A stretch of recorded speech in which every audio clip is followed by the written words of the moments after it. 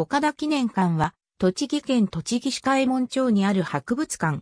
当地を開拓した岡田海門の屋敷を一般公開した施設であり、2020年、現在も当地で子孫が生活している。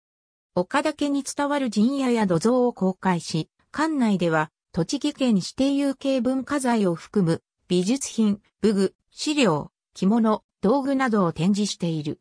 記念館から西へ100メートルほど行くと、日本国登録有形文化財の沖縄島別邸がある。嘉右衛門町は、江戸時代初期に岡田嘉右衛門が開拓した嘉右衛門新田村を起源とし、旧日光霊平市街道に沿って商家の面影を残す住宅が立ち並ぶ町である。岡田家は後醍醐天皇に仕えた武士の家系であるとされ、岡田嘉右衛門は栃木塾の本陣を営み、名主も務め、当地が旗本の畠山氏の治療地となると大官を拝命し、屋敷内に陣屋を設置した。これ以降、当主は代々開門を襲名してきた。2014年現在の当主は26代目であり、先代の逝去に伴い、戸籍名を岡田嘉右衛門に改名した。法暦10年から始まり146年続く日記を保有し、貴重品を保護するため、隠し、引き出しのある引き出しを継承する。2018年現在、岡田記念館の館長を務める岡田陽子は、25代当主の妻、26代当主の母である。26代当主は医師であり、記念館の運営は基本的に館長一人で行っている。4000平方メートルに及ぶ敷地には、江戸時代から大正時代までの土蔵、店蔵、木造店舗などが現存し、白壁の建築が目立つ。そのうち公開している土蔵は3棟あり、それぞれ1号館、2号館、3号館と名付けられている。蔵の中では、岡田家伝来の宝物を展示しており、具体的には、富岡鉄裁筆、関人関人図、早乙女家地下の甲冑、徳川家から可視された、食台、松根東洋城、板や波山、飯塚老祭らの作品である。他に大観屋敷、床屋、陽月亭、庭園、書斎を公開している。敷地内には、市村理髪館の建物が残る。市村理髪館は、栃木県最古の利用所で、江戸時代に出張利用を営んでいた業者が、岡田家の一角を借用して、明治初期に開業し、1989年まで営業していた。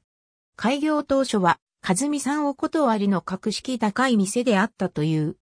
店内には、廃業時点まで使っていた器具などがそのまま残っており、2017年9月4日に全国利用生活衛生同業組合連合会から利用遺産の認定を受けた。特に建物、椅子、鏡、ハサミは創業当時から使ってきたものである。沖縄島別邸の竹林と渦間川沖縄島別邸は、岡田家22代当主が1924年に建てた別荘であり、隠居所である。22代岡田嘉右衛門は、古川一兵衛の足尾銅山経営に、渋沢栄一と共に大口出資した人物である。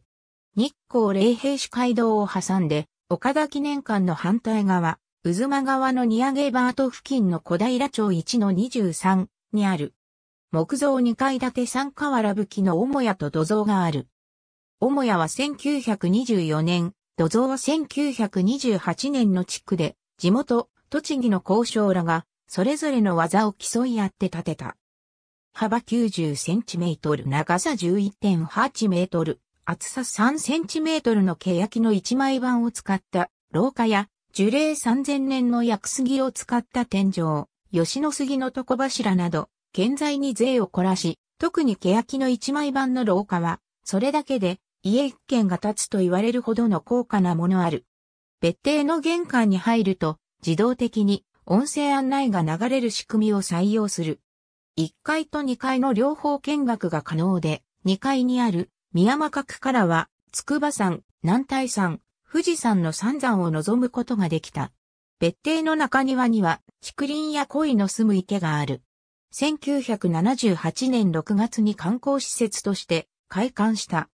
栃木市役所が蔵を活用した街づくりに本腰を入れ始めたのは1988年のことであり、栃木市で最初期に開館した歴史的建造物を見学できる施設である。このため、ハトバスが定期的に訪れるようになった。2009年10月31日11月1日にイベント、蔵の学校の一環で沖縄島別邸を利用した古民家カフェが開かれ、中日フランス大使館の協力でフランス映画の上映会も同時に開催された。2015年の関東、東北豪雨では周辺地域が浸水する被害があり、沖縄島別邸も床下浸水した。岡田記念館が所有する文化財は以下の通り。岡田記念館は屋敷、別邸、日本庭園を有し、長い歴史を持つ旧家であることから、映画やテレビ番組のロケーション撮影がよく行われている。また、婚礼写真の撮影地としても利用され、和装して庭園内の竹林や鯉のいる池に架かる橋で撮影を行う夫婦が多い。畠山陣屋と、ありがとうございます。